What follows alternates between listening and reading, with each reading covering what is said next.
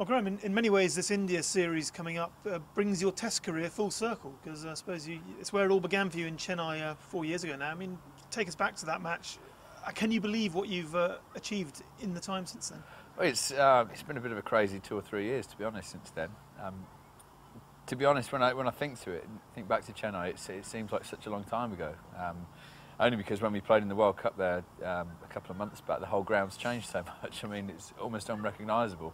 Even the change rooms have swapped over. We ended up in the Indian change room for some reason. So, uh, yeah, it's, um, it's, it's been a good couple of years, and it's, uh, it's a game that I'll always uh, cherish.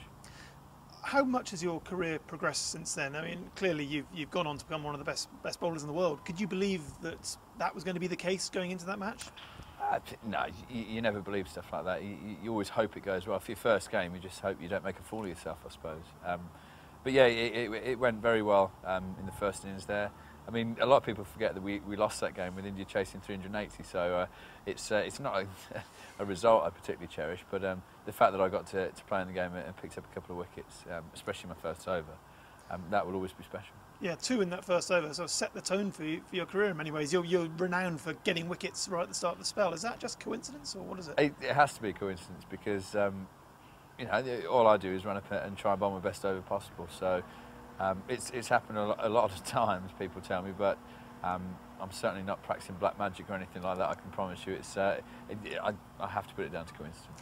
Going into this series, though, I mean, England have progressed so much. You are looking to be number one in the world. It's an, an open goal of yours, and um, this is a major uh, roadblock in the way. I mean, this is this is one of the biggest series you're going to play in. in well, it is. Uh, I mean, India are there by rights at the minute on top of the tree, so uh, it's up to us to, to, to, continue playing some really good cricket. You know, uh, coming into this summer, we were fourth or third, I think, and we were just heading in the right direction. Um, we, we, all sat down as a team two or three years ago and, and sort of plotted our way to the top of the world. And, you know, how are we going to get there? And, and what we're going to do. And was fairly simple. We had to win as many Test matches as possible and, and win every series. And so far, you know, we, have we, gone the right way about doing that. And hopefully by the end of this summer, um, you know, we'll be close or if not there.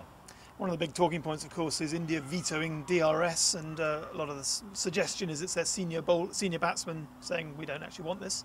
You seem to be a guy who's picked up uh, a lot of wickets through DRS. Is it all a conspiracy? I, I doubt it's a conspiracy. Um, you know, it's just one of those things that you, the Indians have been uh, reluctant to use it since it's come out. So, you know, there, there's traditionalists all, all, over the world. I mean, there's a lot of people at Lord's who I'm sure are very happy with that. Uh, personally, I think it's, um, it's, it's a good bit of technology and it's, it's been proven to work. And I think it gets rid of a few glaring errors um, that were there before. And uh, and you know, it, it's a shame it's not being used in summer for sure. But uh, I just hope it, you know, there's not any um, uh, decisions that change Test matches because of it. On a serious note, though, it does seem to have um, brought uh, finger spin as well uh, as much as any bowling into the in prominence. I mean, you know, front foot LBW seem to be something that happened more these days than perhaps before. Yeah. Is that something to do with DRS well, and Hawkeye? I, you know, I, I, think Hawkeye first and foremost coming in um, uh, gave the umpires a lot more chance to review decisions uh, and see where they would have hit the stumps. Uh, and that coupled with the DRS system is, is, now, I think, made umpires a lot more confident about you know what's hitting and what's not. Um, you know, and I think you know the standard of umpiring has improved over the last few years because of the DRS system. Um, you see a lot less uh, contentious decisions these days, and um, I see you know that's one good thing. I mean, because of the level of umpiring's also uh, risen as well.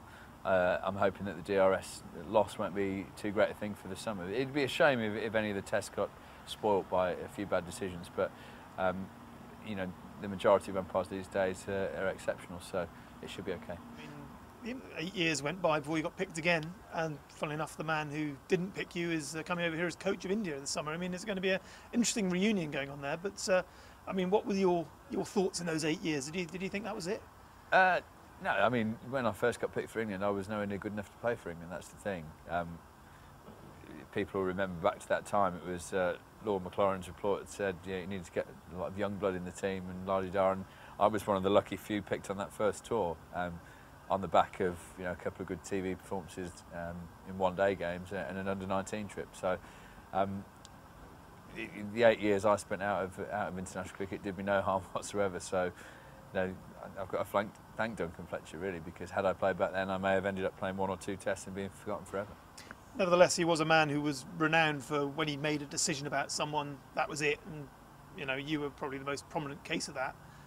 Is it some sort of satisfaction to be able to say, look, look what you missed out on, or, or, or don't you even think of like think of it like that? Oh, I don't think. I think if you, if you got bitter like that, um, it'd be a very sad world you lived in. Um, a great fast bowling coach once told me, "You don't get bitter, you get better." Otis Gibson. but um, you know, you, you do seem to be a free spirit in in particularly in a sort of the media world we live in. Uh, you know, a lot of what England players, sportsmen in general, say tends to get watered down uh, by whatever means. You seem to have what you what you want to say, you say it, and don't seem to have any consequences of that. I mean, what is it that, that allows you to, to speak out where others don't? I think it's very simple. At the minute, I'm doing quite well on the field, so you have a certain amount of leeway given to you. I mean, I just try and be honest. To be honest, I um, I've never liked cliches. I've never liked listening. I d- I don't like watching football on TV after the game when the, the guys get interviewed because you, you know exactly what they're going to say before they say it. And I always think, what's the point of doing an interview if you're just going to uh, um, you know, give them a party line. I love Harry Redknapp because he said that this um, this summer, uh, this winter, sorry. He said, uh, "Well, you want me to talk to the press and be honest, and whenever I'm honest, you try and find me. So what's the bloody point?" I think that's brilliant. I mean, if you get asked a question, you should answer it honestly, and you know, if people don't like it, you, you hope your employers don't mind it. But if they, you know, I still try and keep it fairly sensible. I don't want to uh, upset anyone who pays my wages, because um, then my wife would kill me. But I mean, there's, there's Twitter as well, which obviously you're a, you're one of the one of the great pioneers of Twitter, and people like Alex Ferguson, has, Ferguson have said, I don't understand what on the, the point of it. You clearly get the point, and it seems to be a great way to, to keep in contact with, with, with the fans. I mean, is well, it is. It's um, you know, when it first came out, I didn't really understand what it was all about. I thought it was like a, a very watered down Facebook, and, and it'd be it'd be dreadful. But um, within two or three months, I realised that this is the best thing since sliced bread. Facebook's out the window. I don't want that anymore. And uh, it, it's just a chance for you know, yeah, you can show that you're more human than otherwise people would think. You're not just a robot who goes out there and plays cricket. You've got views on things. Um, you know, on a, on a, on a Tuesday night in mid-November, you're at home watching the same uh, rubbish on TV as guys who follow you. So it's. Uh, I use it as a chance to just be a bit of a bit of an idiot and get a bit of student humour out, and uh, and I really enjoy that. I think it's great uh, interaction with fans. I don't reply to that many because uh, my wife goes mad if I do it at home, to be honest. But, um, but yeah, I, I just think it's good fun. Going back to that quest for number one, I mean, it's not only India coming up. You've got uh, Sri Lanka, Pakistan away, which in many ways the beating subcontinent teams in the subcontinent is possibly the the real yeah. key, key, thing for, for a team that's got aspirations to be at the top. Is that well, something you're aware it, of? It's very hard to do because um, you know their batting tends to be their strongest suit, and the wickets over there give nothing to the bowlers. Uh, it's no surprise that a lot of the best batsmen in the world grow up on those wickets. It's why you hope when you play in England that the pitches will be traditional English pitches because a subcontinental batsman can struggle when it's if it's hard and it's seaming around. Um, you don't want to play on too many slow feather beds in England because that plays into their hands. So yeah, it's going to be very tricky this winter. It's um, you know, as you say, Sri Lanka, uh, Pakistan away, where, wherever we end up playing them. Um, you're not going to find too many uh, damp, wet green ones like in May in uh, in England.